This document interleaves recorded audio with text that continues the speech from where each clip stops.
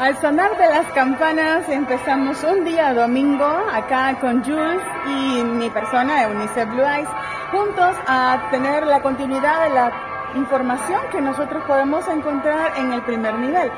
Por razones de tiempo en aquella oportunidad no pudimos ingresar y ahora pues se nos está dando poder ingresar acá, justamente donde está el mayor auditorio, es decir, el que puede hacer todo tipo de escenografía completo para cuando ya se dé la oportunidad de hacer uso, como también para poder hacerte presente y disfrutar mucho de los documentales, películas infantiles, entre otras actividades que se van a estar desarrollando acá en Vinales.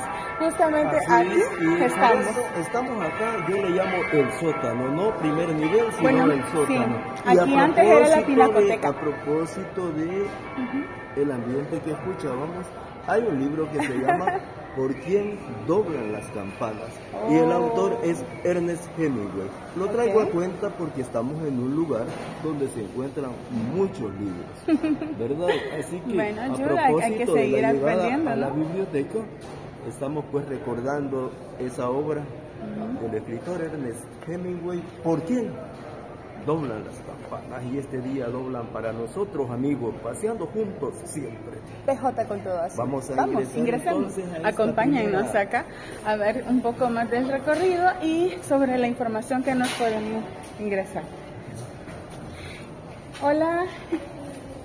Ahí está. Muchas gracias. Buenos, días. un gusto acá, bienvenido. Aquí me siento como en, mi otra casa. ¿Qué tal? ¿Cómo está? Bien, gracias. Todo bien. Aquí mándale un saludo a los amigos de PJ con todo azul.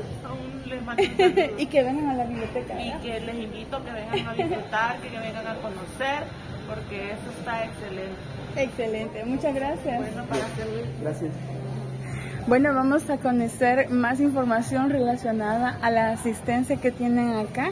Esperamos pues conocer el auditorio, tal vez nos puedan dar en la guía. Hola, buenos días. Aquí encuentro ya una linda chica, miren. Hola. Un saludo acá de PJ con todo azul, te saludamos y hemos venido acá a conocer un poco del reportaje que no pudimos la vez anterior porque estaba full. Entonces queremos saber si nos pueden ayudar a conocer el auditorio y todo lo que se da aquí en este nivel. ¿Con quién tengo el gusto? Esmeralda qué bonito nombre, Esmeralda. Mucho gusto, Benice. Bueno, vamos, aquí nos va a acompañar Esmeralda, que está en el Yul, que bueno, tengo callado. Yo pensaba que este nivel era un sótano, ah. pero me dicen que es el primer nivel. Mira, pero qué hermoso y comodidad hay acá. Vamos a conocer el primer nivel para mí.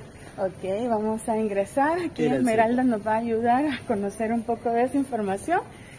Y mira, también hay una galería de cuadros sí, Exacto. Aquí tenemos unos cuadros. Bueno, allá en recepción van a ver que está el cuadro rescatado que era de la antigua biblioteca, estaba en el cuarto nivel. Sí. Lo pasaron para acá, es de Carlos Cañas, fue hecho en 1960 y se logró rescatar. Y pues aquí tenemos, entre otros cuadros que también se pueden apreciar, una pequeña sala de espera. Están los baños, tenemos los elevadores para los otros niveles y pues eh, acá tenemos el auditorio.